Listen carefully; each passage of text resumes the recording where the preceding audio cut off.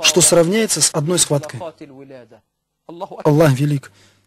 Я разве не сказал тебе, что обязанность перед матерью огромна, что ее статус очень велик? Послушай еще хадис пророка. Передает имам Аль-Бухари в Адаб Муфраде от Саида ибн Абу Бурды. Я слышал, как мой отец рассказывал, что он видел ибн Умара и Йеменца, который делал таваф вокруг Каабы и нес на себе свою маму и говорит, «Я для нее как покорный верблюд. Если даже верблюд сбежит, я не сбегу. Я ее ношу больше, чем она носила меня. Неужели я не воздал ей сполна, о Ибн Умар? Аллах велик. Человек посадил мать на свои плечи и делает таваф вокруг Кабы, в этой толкучке, на жаре, и он радостный, что ему перепало так ее нести, и подпевает. Я для нее как покорный верблюд. Даже если сбежит ее верблюд, я не сбегу. Я ее ношу больше, чем она носила меня. Неужели я не воздал ей сполна? О, Ибн Умар, нет даже размер одной схватки. То есть все это не сравнится с одной схваткой из ее беременности. Вот она, мама, о господа. У нас еще звонок. Ассаламу алейкум.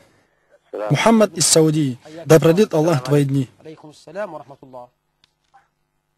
Ассаляму алейкум. Алейкум ассалям, рахматуллах. С вами говорит брат Мухаммад из Саудии. Да продлит Аллах твои дни. Моя мать сейчас в Йемене. Что? Алло. Да, я слушаю, Мухаммад. Я говорю, что моя мама сейчас в Йемене. Она отказывается переезжать в Саудию.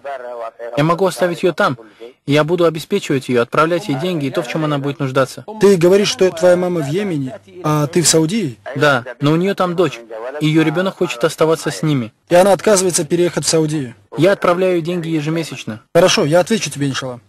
Да благословит тебя Аллах, Мухаммад, и поможет тебе делать добро матери.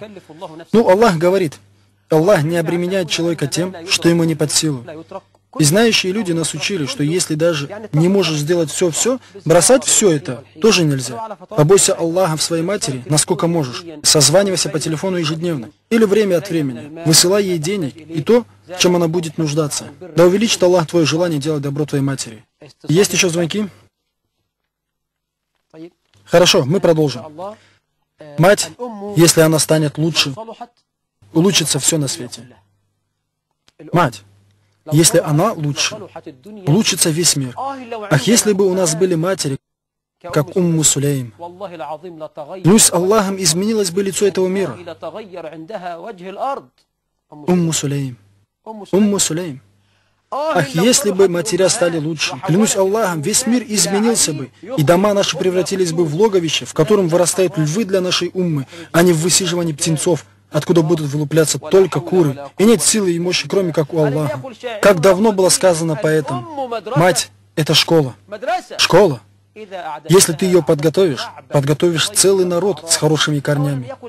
Также говорили наши предки, за каждым великим человеком мать. Имам Аш-Шафи, Аль-Бухари, Ахмад ибн Хамбаль, Суфьян Ас-Саури, и Зубайр ибн Аввам. Кто вырастил их такими? Они все выросли сиротами. Их воспитывали праведные матеря, которые сделали из них великих имамов. Умму Сулейм. Вы знаете, что делала Умму Сулейм со своим сыном Анасом ибн Маликом? Наш господин Анас ибн Малик, когда ему было год или два, его мама Умму Сулейм учила его единобожию, говорила, убаюкивая и покачивая, «Нет божества, кроме Аллаха, нет божества, кроме Аллаха». И первые слова, которые произнес наш господин Анас ибн Малик, «Нет Бога, кроме Аллаха». Она не говорила ему, «Скажи, мама», «Скажи, папа». Она говорила, «Ля иляха илля Дорогие мамы, когда вы будете кормить грудью своих детей, вместе с молоком прививайте детям. Аллах сказал, посланник Аллаха сказал, матеря очень важна у раба Аллаха. Мы говорили о хорошем отношении к родителям и особо хотим подчеркнуть права матери. Потому что Аллах завещал нам нашими родителями, и ослушание родителей из самых больших грехов после предания Аллаху со товарища. Потому что по причине хорошего отношения к родителям можно войти в рай, и хорошее отношение к ним больше даже, чем джихад на пути Аллаха. Хорошее отношение из деяний, посредством которых прощаются грехи и принимаются мольбы. Уайс ибн Амир аль-Карани, хадис, который передал муслим, в котором пророк, да благословит его Аллах и приветствует, говорит, лучший из последователей, человек, которого зовут Уайс ибн Амир, у него есть мать, и он к ней хорошо относится. Если бы он поклялся Аллахом, Аллах бы выполнил это. У него была проказа, от которой он вылечился. Когда вы его увидите, скажите ему, чтобы он попросил для вас прощения грехов у Аллаха.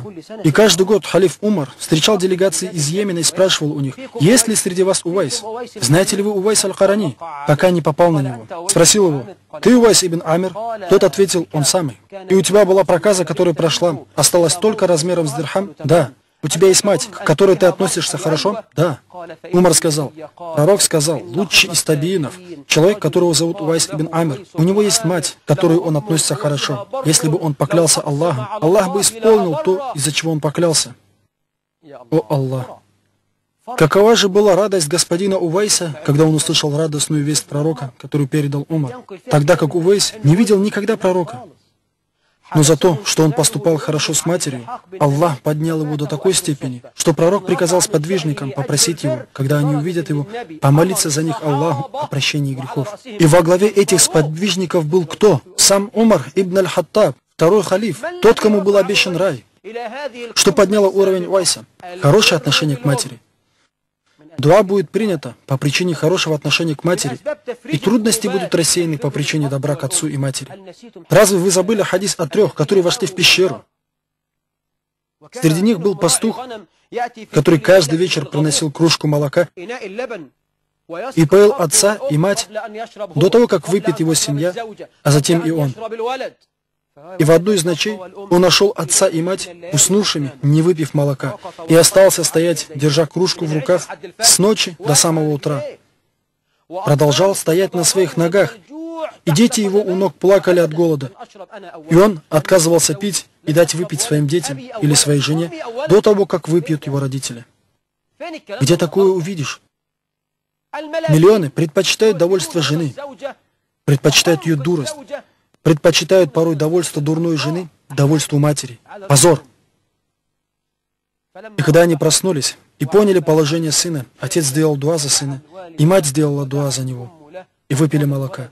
И когда он застрял в пещере и возвал к Аллаху, «О Аллах, если я это сделал ради Тебя, выведи нас из этого положения». И отодвинулась скала, которая закрывала вход. Мы вступили в третий месяц. И это из основных причин, подтолкнувших меня на разговор о родителях, особенно о матерях. Месяц март. Что это за месяц?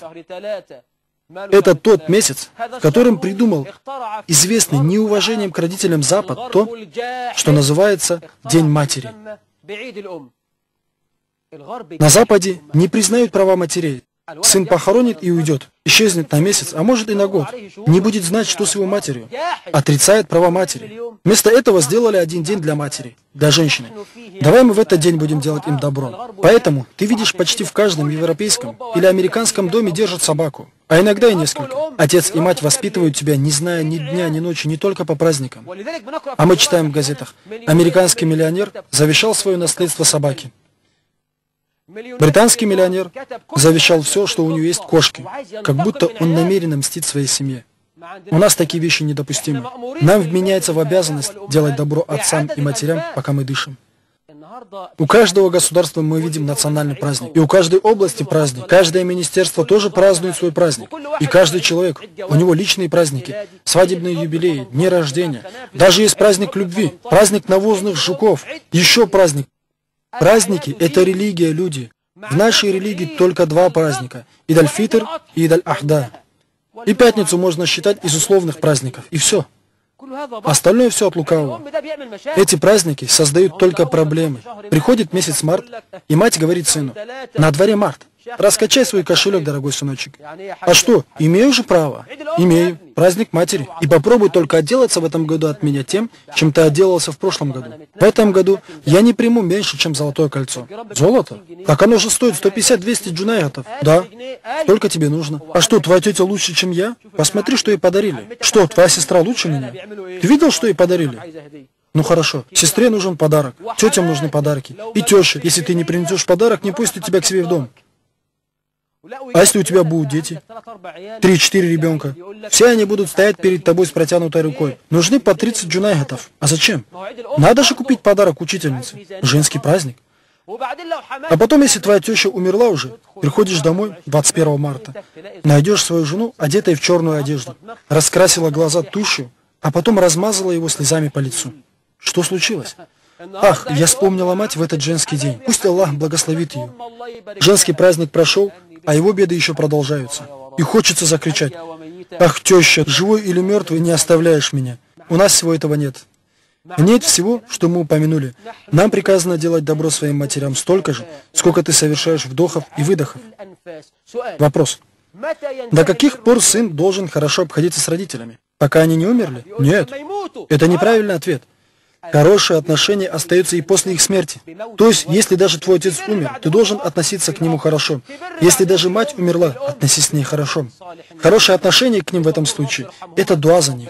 Это давать милостыню за них, совершать хадж, умра, возвращать их долги, если остались, выполнить их обеты, если такие были, хорошее отношение к их родственникам, и можно продолжать долго. Вот несколько примеров того, как некоторые совершали добро родителям. Вы слышали про Зайнуль Абедина?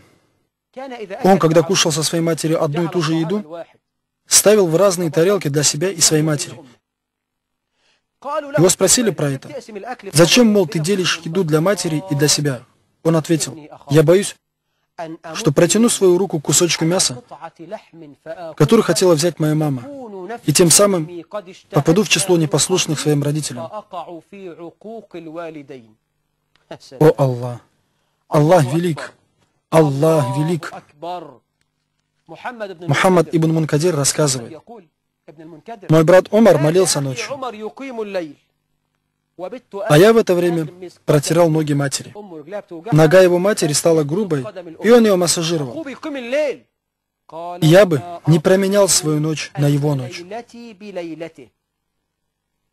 То есть, кто получает большее воздаяние? Тот, кто провел ночь в молитвах, или тот, кто провел ее в прислуживании матери. Клянусь Аллахом, тот, кто ухаживал за своей матерью всю ночь, намного лучше того, кто молился всю ночь. Потому что ночная молитва – желательное действие, а хорошее отношение к родителям – обязательное. Кахмус отдай. Абу Нуаим передает в книге Хилья, что однажды Кахмус пришел навестить свою мать и увидел там скорпиона. Он захотел его поймать, но скорпион залез в дырку. Он, не раздумывая, сунул туда руку и схватил его. Скорпион начал жалить его. Жалить, жалить, жалить. У него изменился цвет кожи. Его лицо покрылось потом. Когда его вылечили, его спросили, «Ты чуть не убил себя, зачем ты это сделал?» Он ответил, как же? Я нашел скорпиона в доме матери. А если бы он укусил мать?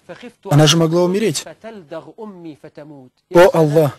Он готов отдать свою жизнь, чтобы не пострадала мама. Клянусь Аллахом, если бы он умер от этого, он бы умер шахидом. Где мы видим такие удивительные примеры в наше время? Я бы мог рассказывать и рассказывать, но уже время вышло. Надеемся, что мы еще раз вернемся к этой теме, если на то будет воля Аллаха.